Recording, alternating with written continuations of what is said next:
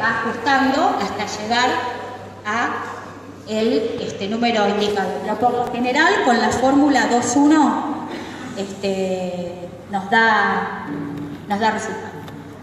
Y si no, se va ajustando el número. Ese es el indicador de seguridad. Está todo igual en la carpeta. Sistematicidad, segunda condición. Quiero aclarar algo. Cualquiera de estas características que no se sostenga hace caer el programa. Sistematicidad. El programa se debe sostener los 12 meses del año.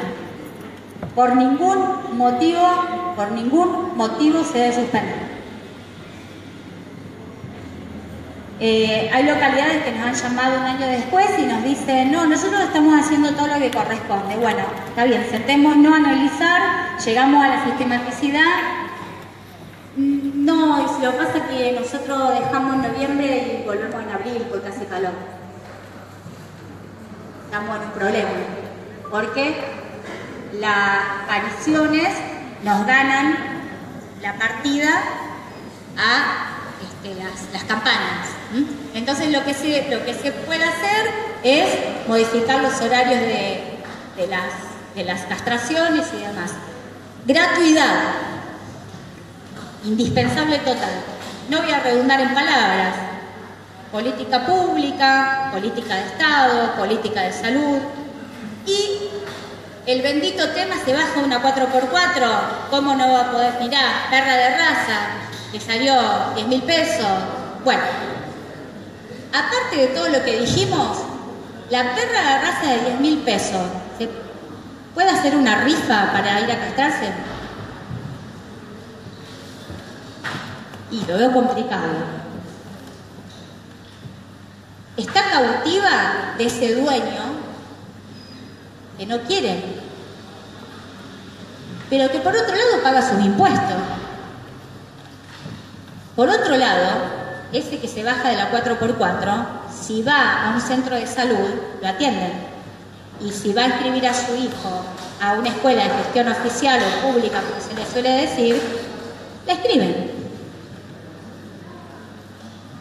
Por otro lado, si se le niega el servicio de castraciones público, paga las consecuencias el animal y la comunidad, porque ¿saben dónde va a tirar los cachorros de esa persona? Al barrio más pobre. Llama a la protectora. ¿Protectora? Ay, vos sabés que se me pasó castrarla. Tengo 15 cachorros para donar, porque encima te dicen así. ¿No te dicen así? Tengo tres perros para donar. No, me los tiraron en la puerta. O me los tiraron en la puerta. No, pero la de tengo tres perros para donar, voy a decir, no, yo quiero que me done un lavarropa. No, no tres perros. O sea que la termina ligando, todos la, ligamos, ¿no? Eh, la gratuidad absolutamente indispensable. Abarcatividad. Tienen que ser perros, gatos, cachorros adultos, mestizos de raza, preñadas en celo, preñadas o tema escabroso. Asesinos. ¿Cómo? Si son protectores, van a castrar preñada. Bueno, otra vez volvemos al trabajo de campo. Sí. Ah, también. Sí. Otra vez volvemos al, al trabajo de campo. Los que dicen que cómo puede ser que castren preñadas. Bueno, volvemos otra vez al trabajo de campo. Vamos a caminar las villas, donde vemos 30 cachorros reventados de moquillo. Vamos a caminar las villas para verlos inundados de diarrea de parvovirus.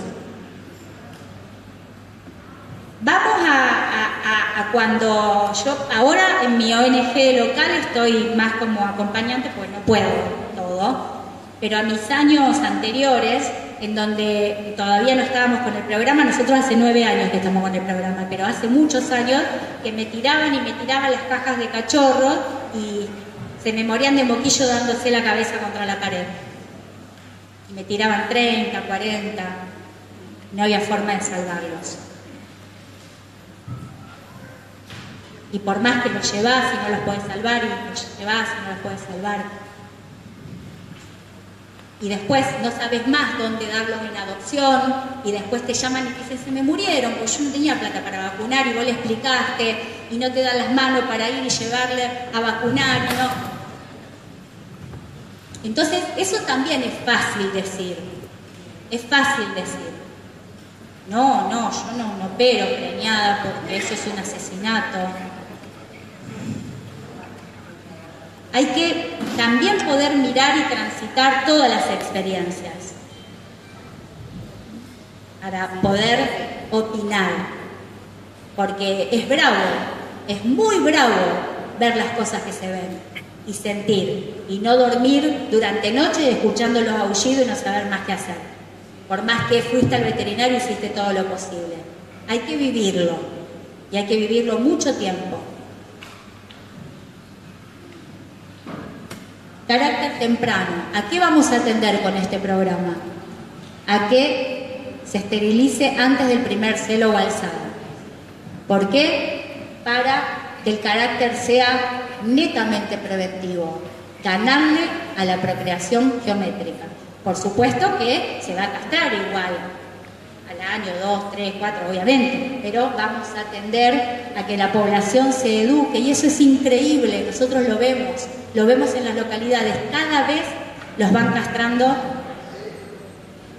más, más, más chicos, más pequeños y cada vez se equilibra más como castran ya mitad macho, mitad hembra. El primer año casi todas son hembras, porque eh, el macho, el hombre de la casa, dice no y cruza las piernas. Hace una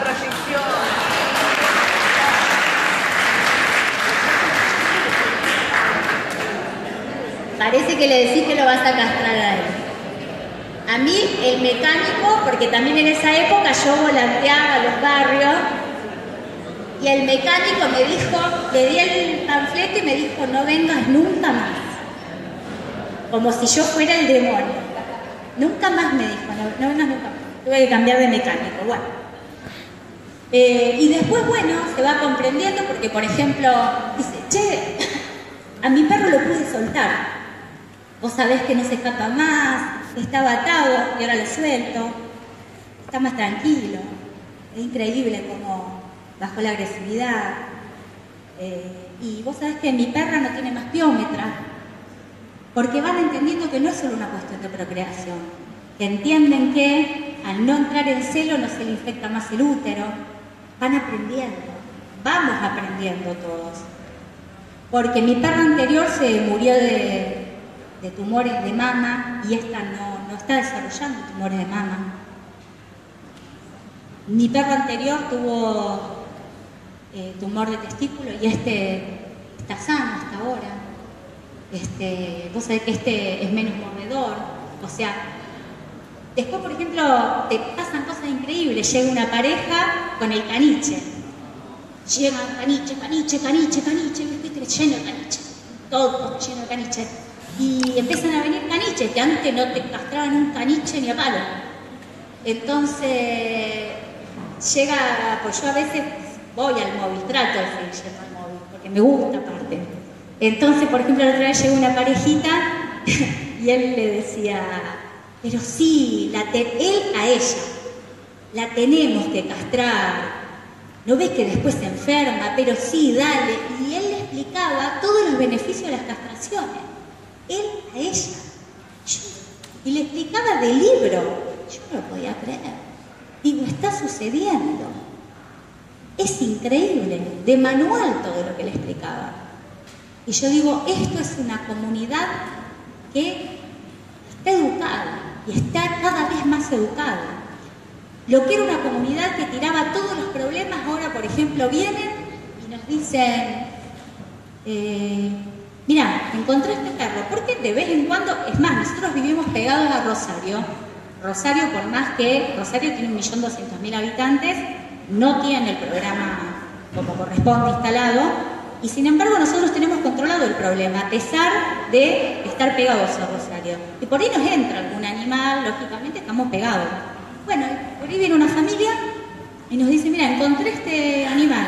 lo vine a castrar voy a quedar, o lo vine a castrar y lo voy a poner en adopción. Eso antes era impensable, era lo de la donación del perro. O sea, se produce nos quedamos, no podés creer. Y aparte lo voy a castrar porque sé que lo tengo que castrar, bueno, se va produciendo, no me quiero demorar más. Eh, extensión, la descentralización. Hay que llegar a todos los barrios, a todos los barrios. Eh, hoy el concepto de salud, al igual que los centros de salud, vieron que están en todos los barrios. Bueno, esto es lo mismo. No se puede castrar en un lugar centralizado. Como esto es una política de salud y aparte es una política educativa, y el voluntario, así como el que sabe operar, y el único que debe operar, porque esto, hay que decirlo también, el único que debe operar, el único que debe decir cuándo un animal está listo para ser entregado, el único que debe medicar, el único que está preparado para eso es el veterinario. Esto también se tiene que entender desde el voluntariado, porque estas cosas hay que decirlas también. El voluntario es el que tiene que estar explicando los beneficios, el que tiene que estar educando a la gente, es el que también sí puede recibir instrucciones del profesional para dar una, una receta escrita por el profesional, es el que puede recibir instrucciones para transferir información y demás, bueno, pero todo eso tiene que ir ocurriendo en los barrios, en los lugares, o bien un móvil quirúrgico o bien en lugares preparados para tal fin. Como venimos hablando con un montón de profesionales, la asepsia, si bien el lugar tiene que estar preparado convenientemente, pero la asepsia fundamentalmente también depende del profesional. Y depende mucho más del profesional que del lugar. Por supuesto que del lugar también. Pero depende muchísimo del profesional. Estos son los, los seis este, conceptos fundamentales del programa y que es lo que nosotros corroboramos y experimentamos que bien aplicados terminan con el programa con el programa de superpoblación animal. Por supuesto que en un corto plazo tienen determinados logros, en un mediano plazo otro en un largo plazo otro. ¿Mm? Vamos a ver eh, el video de Almirante Brown que nosotros eh, al final de este, incluimos algunas localidades, algunas de las localidades nuestras, no pusimos todas, pues si no, este, no eh, hacemos, perdón, y después hacemos un break.